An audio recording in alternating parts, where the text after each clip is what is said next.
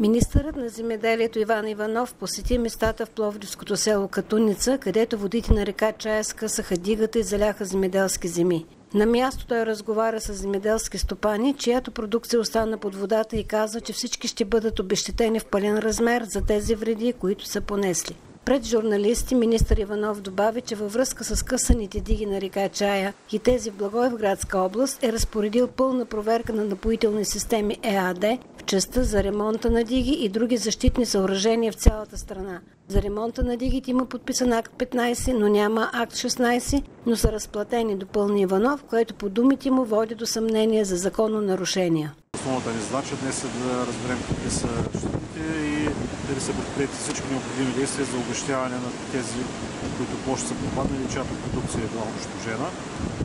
Така че очаквам следващите дни да имаме отговор от фирмите, които са изпълнили тези дейности, дали ще предприемат всичко необходимо да се възстановят тези пропаднали участъци, като те все още са в гаранция.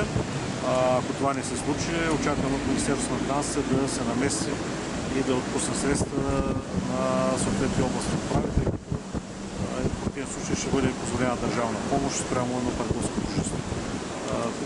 Към настоящия момент имаме хипотеза на търговско отношение между договорни отношения между напоителни системи и техните контрагенти, които в миналото са извършили тези ремонти. Да, има подписан акт 15, но не е разписан акт 16. Това означава, че те на практика не са прияти окончателно, но всички суми са разплатени по тези договори.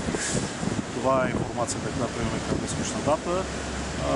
Цялата стоеност на ремонти по дигите са предоставени на министър-председателя за преценка точно как ще се процедира от нататък. Мисля, че се работи в последните две порядък, заедно с Министерството на регионалното развитие, които също имат своите специалисти. Но очакваме така да се спазят договорните отношения от фирмите, които са изпълнили тези строително-монтажни работи по ремонта на дига.